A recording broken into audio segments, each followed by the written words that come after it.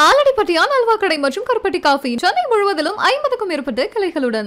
இரண்டாயிரத்து இருபத்தி ஆறாம் ஆண்டில் தமிழகத்தில் கூட்டணி ஆட்சி அம- அமையும் என்றும் அதில் தங்கள் கட்சியும் இருக்கும் என்றும் கூறியுள்ளார் பாமக தலைவர் அன்புமணி ராமதாஸ். இரண்டாயிரத்து இருபத்தி ஆறாம் ஆண்டு தேர்தலுக்கு இன்னும் ஒன்றரை ஆண்டுகள் உள்ள நிலையில் தற்போதே கூட்டணி ஆட்சி குறித்த பேச்சுகள் தொடங்கிவிட்டன. ஆட்சியில் பங்கு என்ற கோரிக்கை வைத்துள்ளவர்கள் பட்டியலில் அடுத்து இணைந்துள்ளார் பாமக தலைவர் அன்புமணி. ராணிப்பேட்டை அருகே சோளிங்கரில் நடைபெற்ற நிகழ்ச்சி ஒன்றில் இரண்டாயிரத்து இருபத்தாறாம் ஆண்டு தமிழ்நாட்டில் கூட்டணி ஆட்சி அமையும் என்றும் அதில் பாமக பங்கு பெறும் என்றும் அக்கட்சித் தலைவர் அன்புமணி ராமதாஸ் கூறியுள்ளார். தொடர்ந்து சொல்லி வருவது ரெண்டாயிரத்தி இருபத்தாறில் கூட்டணி ஆட்சி நடக்கும் கூட்டணி ஆட்சியிலே பாமக இருக்கும். சார், உங்களுடைய அதிகார பகிர்வு கேட்பீங்களா நீங்கள் கூட்டணியிலே இடம் பெற போறீங்க. அதிகாரி பகிர்வு ஆட்சியினுடைய அதிகார பகிர்வு. கூட்டணி ஆட்சின்னா அதுதான் கணக்கு.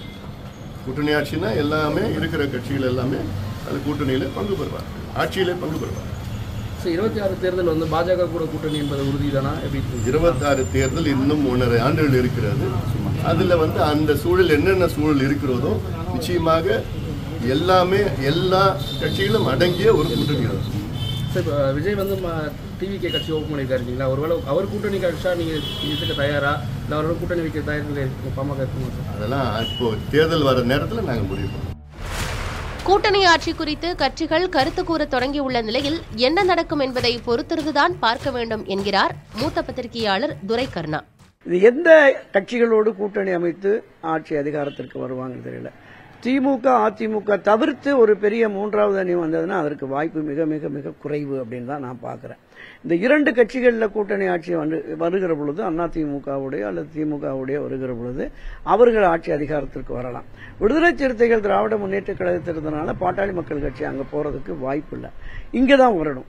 இப்போ இங்கே விஜய் பாமக அதிமுக எடப்பாடி அணி மற்றுமுள்ள ஒரு சில கட்சிகள் வந்ததுன்னா தமாக பாமா நம்ம தேசிய முற்போக்கு திராவிடர்கள் போன்ற கட்சிகள் வரும்போது எந்த அளவுக்கு அவங்க இடப்பங்கீடுகளை வைத்து எந்த அளவுக்கு கூட்டணிக்கு ஒப்புக்கொள்கிறார்கள் என்பது நமக்கு போக போக தான் தெரியும்.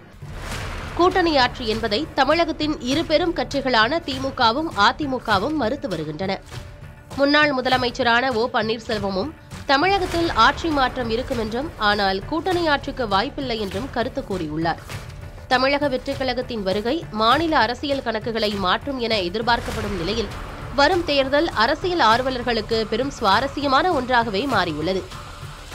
ஆலடிப்பட்டியான் அல்வா கடை மற்றும் கருப்பட்டி காஃபி சென்னை முழுவதிலும் ஐம்பதுக்கும் மேற்பட்ட கிளைகளுடன்.